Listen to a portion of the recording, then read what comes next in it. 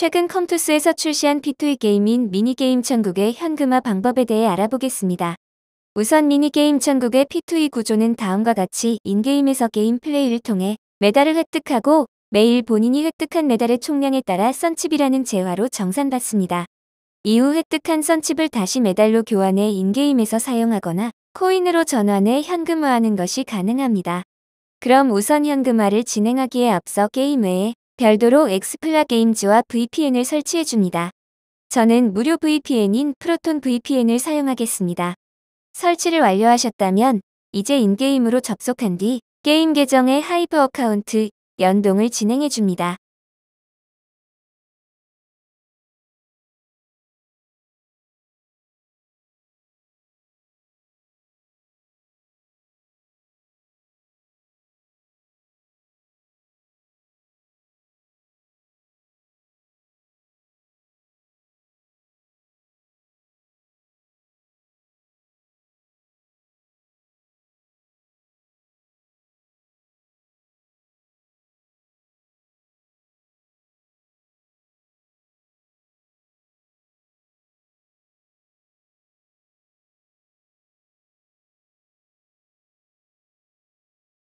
이제 엑스플라 게임즈를 실행해주세요.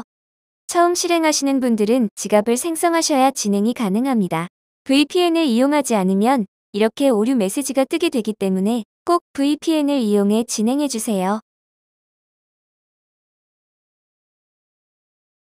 이제 중앙 하단에 있는 메뉴를 선택 후 미니게임 천국을 선택해줍니다. 이전의 게임에 연동한 Hive account를 입력해 로그인해주시면 연동이 완료됩니다. 다만 여기서 휴대폰 번호를 입력하실 때는 꼭 010이 아닌 10으로 시작하도록 전화번호를 입력해주세요. 이제 다음으로 넘어가 주시면 swap 창이 나오게 됩니다. 이제 언제나 썬칩을 획득하면 현금화하는 것이 가능해졌습니다. 참고로 현금화를 위해서는 소량의 엑스플라 코인을 이 앱 지갑으로 전송해 지갑을 활성화시킬 필요가 있으니 현금화가 안 되신다면 이 부분 꼭 유의 부탁드립니다.